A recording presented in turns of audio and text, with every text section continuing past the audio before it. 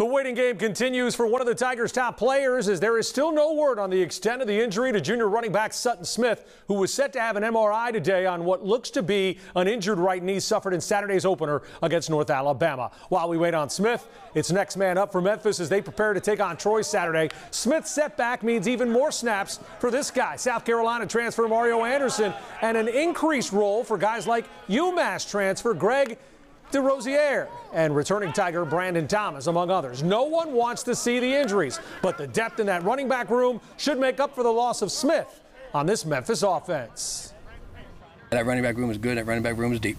So uh, next man up mentality. If it comes to that, you know we're hoping the best for Sutton. Everyone in that room's got to take one more step if, uh, if if we get bad news. You know, everyone in that room's got to take one more step, and that's that's why we practice. That's why we put them in those situations. That's why we you know put it like I always talk about in fall camp. We put them in the worst possible situations. Everyone on our team, not just the the ones.